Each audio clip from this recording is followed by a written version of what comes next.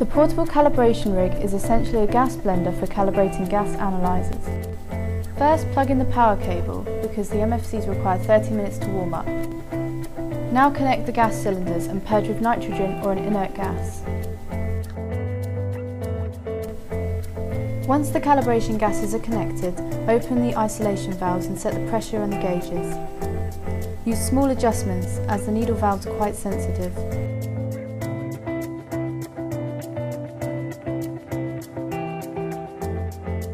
If the fluid type needs changing, press the set button on the MFC and enter the password which is ABC.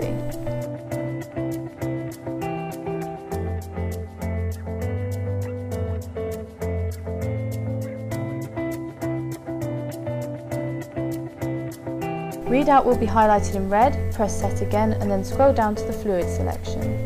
Again scroll down in this submenu to the desired gas. Once selected, use the cancel button to return to the main screen. Scroll down to the flow setting area on the bottom left of the screen and adjust the figure to the desired flow rate. Leave the gas flowing for at least 5 minutes. Now you are ready to calibrate the analyzer. Using the XTP601's controls, navigate to the field calibration menu.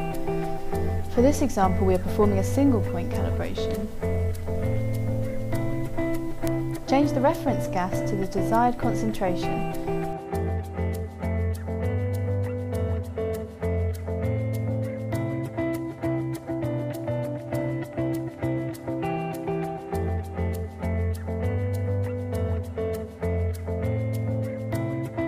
Scroll down to the actual gas and press the up arrow three times when you are satisfied that the reading is stable.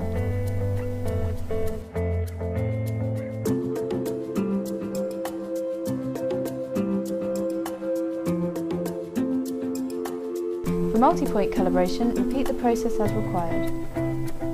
Remember to always purge the PCR with inert gas after use.